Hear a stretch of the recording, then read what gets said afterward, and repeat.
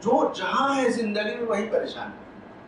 مالدار پریشان ہے بیماریوں سے آدمی پریشان ہے، اولاد سے پریشان ہے، کاروبار سے پریشان ہے، کوئی پڑوسی سے پریشان ہے، کوئی دوست سے پریشان ہے۔ غریب پریشان ہے، چھوٹا پریشان ہے، بڑا پریشان ہے۔ آپ کہیں بھی دیکھیے، کوئی شخص مطمئن نہیں نظر آئے، زندگی ہماری انداز میں گزر رہی۔ ہے اس کی بہت ساری وجہوں میں سے بڑی جو وجہ ہے کہ ہماری زندگی سے امانت داری ختم ہوتی جا رہی زندگی یہاں تک کہ دنیا کے معاملے میں تو ہم خیانت کرتے ہی ہیں۔ دین کے معاملے میں بھی ہم نے خیانت شروع کر دیا۔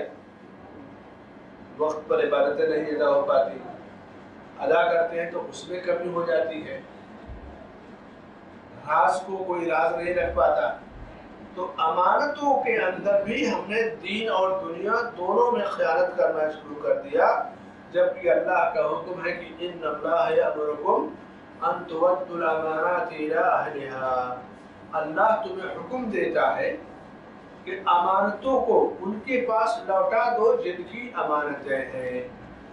اور لوگوں میں جب تم انصاف کرو یعنی فیصلہ کرو، کوئی قضیہ یا معاملہ آئے، فیصلہ آئے تو تم انصاف سے کام لو۔